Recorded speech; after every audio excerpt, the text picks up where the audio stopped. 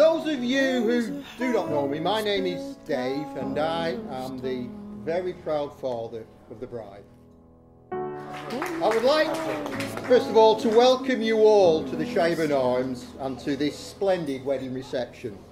On behalf of the bride and groom, together with my wife, Christine and I, uh, and also James's parents, Joanne and Stuart, we would like to thank you all for coming, especially those of you who have travelled long distances, and I know quite a few of you have come a, a great deal of distance. This is a place where I feel at home.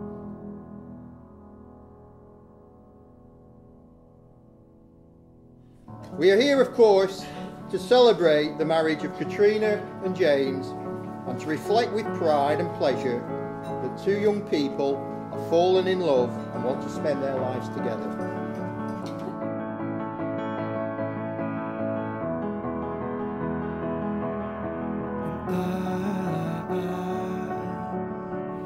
Oh, lovely. Oh my god, that's stunning. I've seen it before, that's stunning. It's tiny. oh, who made your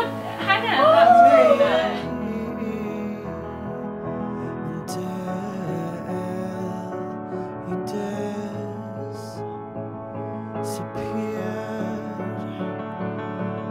To Katrina. On your wedding day. That, that should be-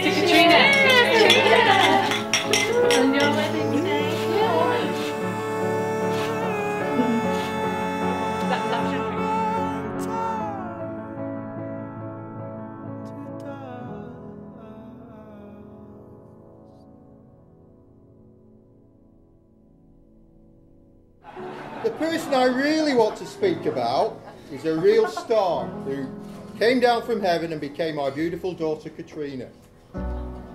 I'll be honest, I'm not a baby person, but the moment I held her in my arms on the day she was born, I realised I was holding a little princess and a wonderful gift. As I watched her grow and play each day, or when I read her bedtime stories, I would look at her and be reminded that having a daughter is a joy and a, and a blessing. Now that I have two beautiful grown up daughters, I am reminded of this more than ever. Oceans were sold by the color of green. Ground had rose and past its knees. Oh, you're amazing. Oh my god. Oh my gosh. Don't be. You've been so brave all morning. So fabulous. You do. Oh, it's fabulous.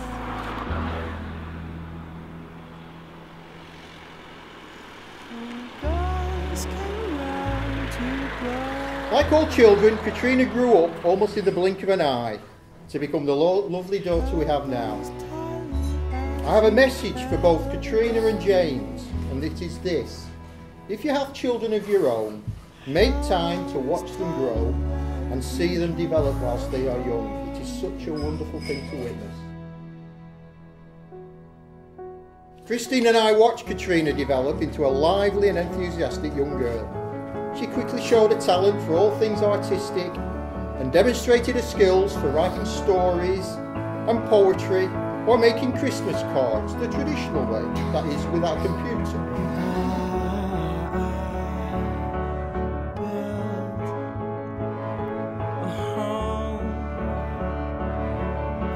She formed a talent for music and soon became skillful at playing the piano and the guitar. For me, however, her love for singing is what I remember most.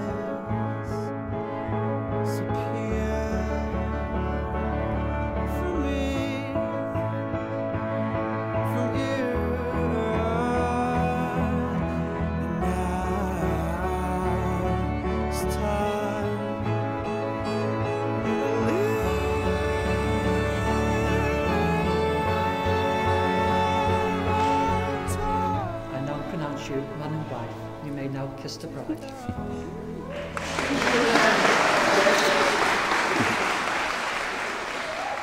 Katrina, you have made your mum and me so very proud and happy on so many occasions. but this is the proudest and happiest of all. For me, nothing can beat how I felt when I saw you in your wedding dress and then walked you down the aisle in church today. I am sure that everyone in this room, and especially my wife Christine, James's mum and dad, will wish you both much happiness and love in your new life together. Ladies and gentlemen, will you raise your glasses as we toast the bride and groom and wish them both love and happiness in their future life together? The bride and groom. Bride.